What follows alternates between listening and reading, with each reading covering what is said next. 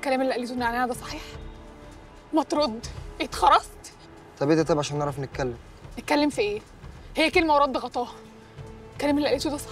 أنا بس عايز شوية وقت لحد ما الدنيا ترسى عشان أعرف الدنيا فيها إيه. ترسى ليه؟ هو أنت ما كنتش راسي أنت كنت بتتسلى بيا؟ أنا عمري ما اتسليت بيك يا فل لو أنت عارفة. أنا ما بقتش عارفة حاجة. حنفي متقدم لي والموضوع على هوا نعناع وهي موافقة. حنفي؟ ده اتجنن ده ولا إيه؟ ده قد ابوكي يا بنتي. وبعدين أنا نعناع فاكره أجيب ضعف الكشك هتبيع وتشتري فيكي لا هو لو حد باعني فهو أنت يا تيتا. شوية صبر شوية تضحية يا فلة. ما تضحي أنت. يا ابني أنا قبلك زي ما أنت. وراضيه بحالك. ومستعده ابيع الدنيا كلها عشانك. وأنت عارف. بس اطمن بس إنك عمرك ما هتخوني أنا عمري ما أخونك يا فل بس كل حاجة محتاجة ترتيب ووقت.